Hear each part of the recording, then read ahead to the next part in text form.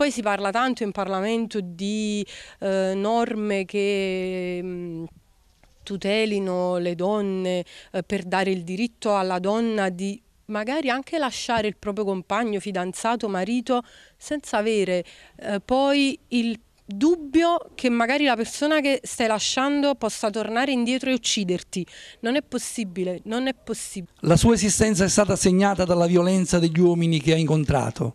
L'ultimo, il suo fidanzato da circa un anno, l'ha ammazzata qui, su questa panchina che vedete nelle immagini in questa angusta piazza che in pochi secondi si è trasformata in un teatro di morte. Stiamo parlando dell'allora 49enne Maria Tino di Dragoni, nell'Alto Casertano, uccisa dal suo fidanzato, il 62enne Massimo Bianchi.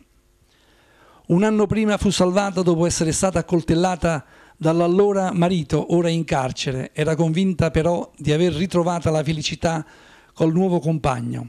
Il peggio però per Maria Tino doveva ancora arrivare. Bianchi, un dipendente della comunità montana, in pochi mesi si è rivelato diverso da quello che lei aveva immaginato.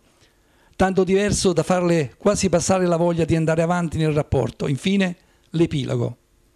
Intorno alle 16 del 13 luglio 2017 Maria era seduta su questa panchina in piazza Municipio, non lontano dalla chiesa e dalla sua abitazione nel cuore del centro storico di Dragoni. Massimo arriva da lei in auto, probabilmente avevano un appuntamento ma con la pistola in tasca. Quando l'ha raggiunta, invece di parlarle, le ha puntato l'arma. Un attimo di esitazione, il tempo che lei capisse, e poi tre colpi uno dietro l'altro. La tragedia è già consumata. Un intero paese sotto shock, a distanza di otto mesi dalla tragedia, la famiglia di Maria sprofonda nuovamente nel dolore perché qualche giorno fa arriva la sentenza che condanna l'assassino a soli 19 anni. Questa volta la famiglia delusa rompe il silenzio e decide di parlare. È, ehm, è un momento molto tragico per eh, la nostra famiglia, è una cosa che non eh, ci si aspettava assolutamente.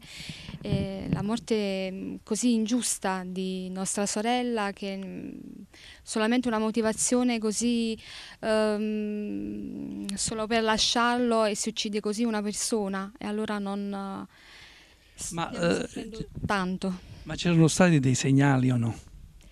Ma mm, fino in quel momento andava, mm, andava, bene, diciamo, quindi poi le cose non lo so, tra di loro Maria cosa mm, ha iniziato a vedere in, in questa persona.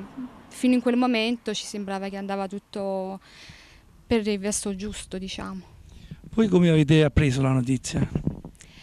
E, mm, hanno chiamato i vicini, hanno chiamato mio padre, poi me, mia, mia sorella, l'altra sorella. Senta, alla luce della sentenza che, si, che, è venuta qualche giorno fa, eh, che cosa avete provato? Eh, delusione? Era, la ritenete giusta, sbagliata? È un'offesa per la nostra famiglia, è un'offesa per tutte le donne, è un'offesa per Maria per i figli di mia sorella, per i miei genitori e per noi sorelle. E, mm, una sentenza sbagliata, e, mm, ci aspettavamo molto di più, e, mm, però non è successo.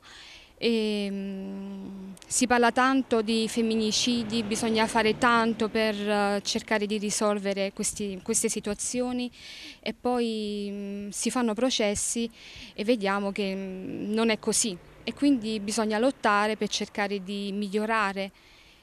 So che mm, c'è stata una certa amarezza oltre tutto il dolore che avete avuto perché eh, secondo voi erano, eh, c'erano state delle notizie sbagliate da parte dei giornali. Cos'è successo esattamente? Ci vuole spiegare? Ma diciamo che ci sono stati dei giornali che hanno... Um, hanno, hanno, detto delle cose non vere, che mia sorella era l'amante di Massimo Bianchi quando poi non era così, perché con il suo ex marito erano in fase di separazione. Parliamo ancora della sentenza perché diciamo che l'argomento, il tema di attualità, una sentenza che è venuta qualche giorno fa. Lei che cosa si aspettava? Mi aspettavo di più perché così è una delusione. Eh, che cosa pensate di fare adesso? Eh, sicuramente si andrà avanti, ci sarà l'appello, comunque si va avanti, bisogna lottare, non si, si può fermare così, accontentarci così, no. Qual era il rapporto esatto tra i due? Loro erano fidanzati, una coppia, mm, eh, diciamo, lei aveva scritto su Facebook una coppia di fatto, perché lei eh, era legalmente separata col marito, quindi era iniziata questa storia che per lei era bellissima. Eh, lui era mm, il suo principe azzurro. Lei quando mi chiamava mi diceva io mm, sto ricevendo attenzioni e amore che mai ho ricevuto nella mia vita. Quindi lei era molto, era molto felice. E negli ultimi giorni le uniche cose eh, che si sono dette, che io sappia, eh, erano cose del tipo andiamo a convivere e lei diceva di no perché era presto, perché voleva più tempo. Lei eh, non amava essere messa sotto pressione. Questo era, lei non amava essere messa sotto pressione e lui invece era ehm, sicuramente innamorato, eh, voleva eh, dare come dire, inizio eh, magari ad una nuova famiglia, un, un fidanzamento che eh, come dire, mh, eh, fosse... Diciamo poteva avere futuro insomma. Sì, sì, che avesse un, un futuro. Eh, lei voleva soltanto più tempo e invece eh, quel giorno eh, noi abbiamo visto le perizie su, sui cellulari, su, sul computer, eh, quindi quello che sto dicendo non, non, non, lo dico io ma lo dicono le carte.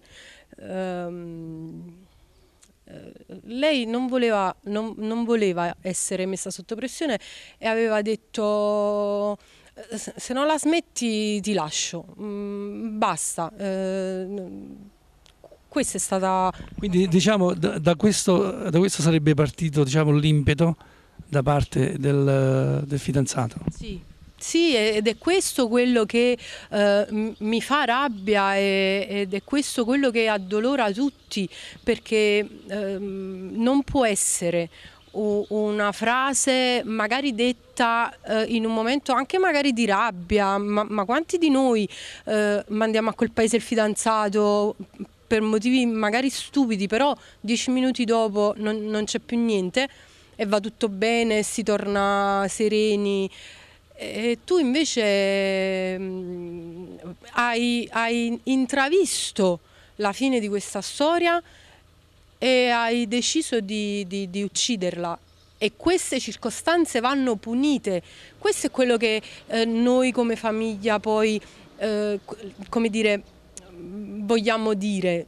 Queste circostanze che sono circostanze futili, sono circostanze stupide, sono cose che non, non devono, non devono avere nessun rilievo nell'ambito di un rapporto, non possono stabilire né la fine del rapporto, ma né tantomeno la fine della vita di una persona, cioè una persona che aveva tutta la vita davanti perché 48 anni sono niente eh, e invece lui l'ha uccisa.